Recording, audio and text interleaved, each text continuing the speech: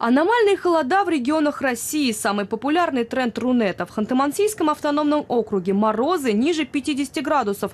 Как сообщают мобильные репортеры, города окутаны плотной холодной дымкой, а вахтовые поселки – дымом от печей, в которые все время подбрасывают уголь и дрова. По словам пользователей, топить приходится круглосуточно, спасаясь от небывалых морозов.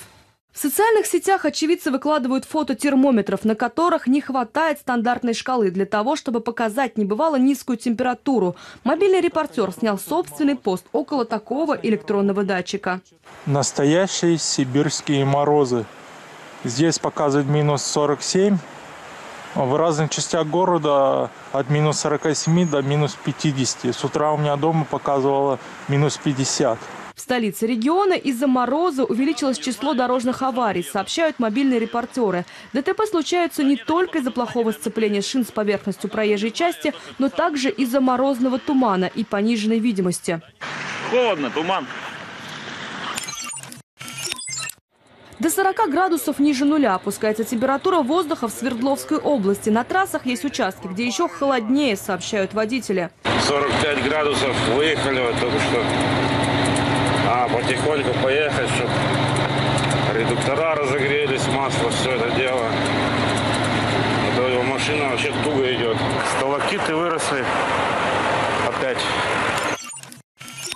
Сильная метель застала в дороге нашего мобильного репортера на трассе Томск-Самусь. Снег начался внезапно, видимость резко упала. Водителю пришлось снизить скорость и включить аварийку. Вот такая вот у нас в Сибири погода. Едем на аварийке. Скорость по трассе 25. Видимость 0. О, встречка идет. Тоже на аварийке. Вот такая вот погода. Владивосток из-за метели застыл в десятибальных пробках. Пользователи сообщают, что из-за плохой видимости и скользких дорог в городе произошло много дорожных аварий. Из-за этого движение во многих районах было затруднено. Шторм продолжается в Алтайском крае. Сильный ветер, метель, гололед. Такими кадрами делятся в сети пользователи интернета. Сложной остается обстановка на дорогах. Из-за погоды некоторые трассы перекрыты. Пользователи выкладывают в интернет множество советов, как сильные холода отражаются на повседневной жизни горожан. Житель Сибири снял репортаж о том, как он пытается завести свою машину при минус 37. Довольно прохладно так. 37 градусов, представляете? Погнали. Ой-ой-ой, как заорал-то. Странно. О, даже лампочка потухла.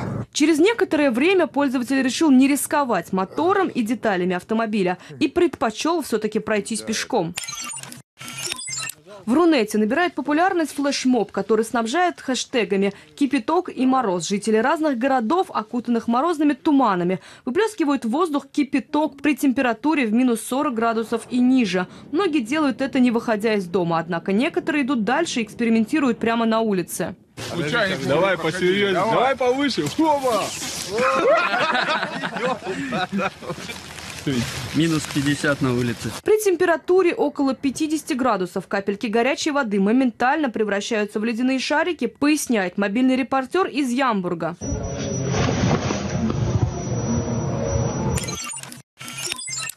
А вот в городе Тарко-Сале, Ямало-Ненецкого автономного округа, в мороз минус 50 не все сидят дома. Герои этого ролика вышли на улицу обливаться холодной водой. Мы, моржи и мало, бросаем вызов северным морозам. На улице ниже 50 градусов мороза. Но на, для нас это не преграда. Готовы? Да. О! О!